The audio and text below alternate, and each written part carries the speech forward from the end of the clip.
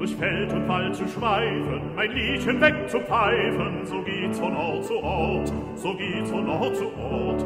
Und nach dem Takt erregelt und nach dem Maß beweget sich alles an mir fort, und nach dem Maß beweget sich alles an mir fort.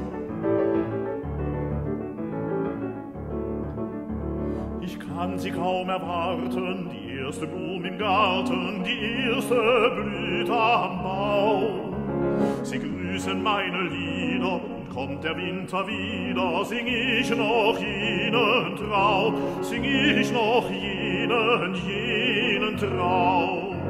Ich sing ihn in der Weite, auf heißes Längen und Breite, da blüht der Winter schön, da blüht der Winter schön. Auch diese Blüte schwindet und neue Freude findet sich auf bebauten Höhen, und neue Freude findet sich auf bebauten Höhen.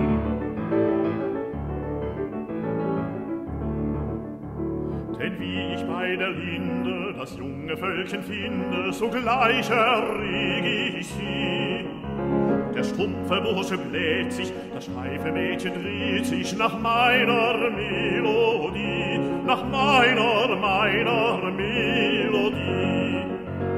Ihr gebt den Sohlen Flügel und treibt durch Tal und Hügel den Liebling weit von Haus, den Liebling weit von Haus. Ihr lieben holden Musen, wann ruhig am Musen auch endlich wieder aus, wann ruhig am Musen auch endlich wieder aus.